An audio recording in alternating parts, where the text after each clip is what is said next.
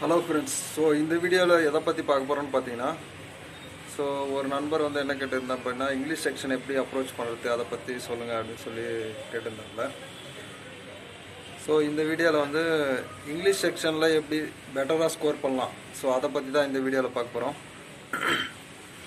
இதில் வந்து பார்த்தீங்கன்னா ரெண்டு டைப்பாக பிரிக்கலாம். ஒரு சிலர் வந்து பார்த்தீங்கன்னா இங்கிலீஷில் ரொம்பவே ஸ்ட்ராங்காக இருப்பாங்க.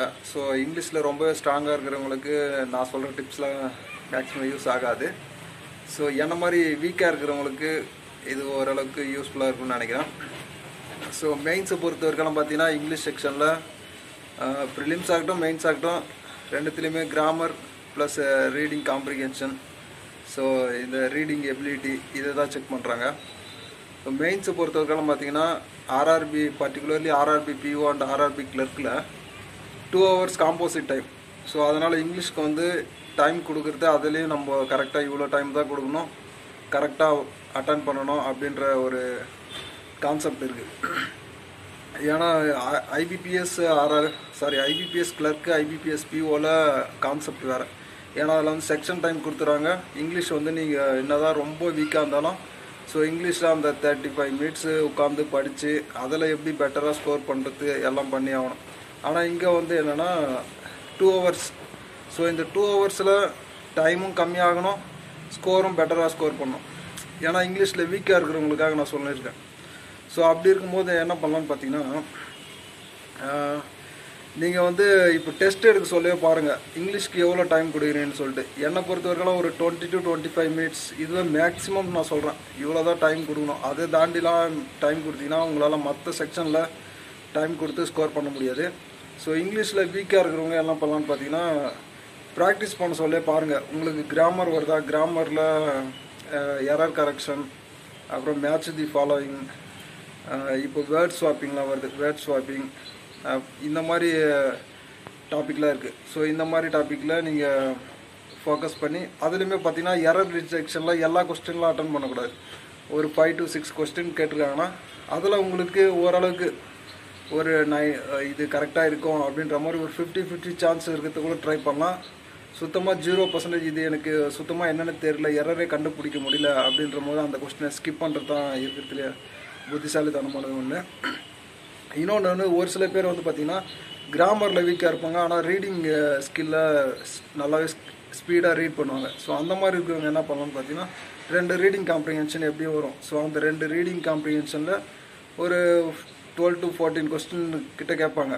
அதுலேயுமே எல்லா கொஸ்டினும் அட்டன் பண்ணணும்னு இல்லை. அதுலேயும் ஈஸியாக இருக்கிறத பிக் பண்ணி பிக் பண்ணி அட்டன் பண்ணலாம். ஸோ இங்கிலீஷ் செக்ஷனை பொறுத்த வரைக்கும் பார்த்தீங்கன்னா அக்யூரேசி கண்டிப்பாக மெயின்டைன் பண்ணி ஆகணும். ஸோ நம்ம எப்படி குவாம்ஸ் ரீசனிங் மற்ற செக்ஷனில் எப்படி அக்யூரேசி மெயின்டைன் பண்ணுறோமோ அதே மாதிரி இங்கிலீஷ் செக்ஷன்லேயும் மெயின்டைன் பண்ணணும்.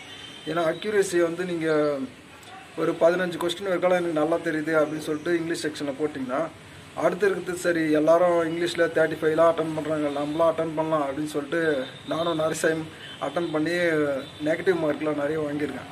ஸோ அதனால் உங்களுக்கு பதினஞ்சு டு இருபது கொஸ்டினாக தெரியுதா? ஸோ இருபது கொஸ்டின் இருக்கலாம் அட்டன் பண்ணிடுங்க. Forty out of twenty twenty five attend பண்ணுங்கள் போதும். அதுவே சேஃப் ஜோனில் ஏன்னா நீங்கள் அந்த இருபது கொஸ்டின் இருக்கலாம் ஓரளவுக்கு நைன்ட்டி எயிட்டி பர்சன்டேஜ் அக்யூரேசியில் போடுறீங்கன்னு வச்சுங்களேன்.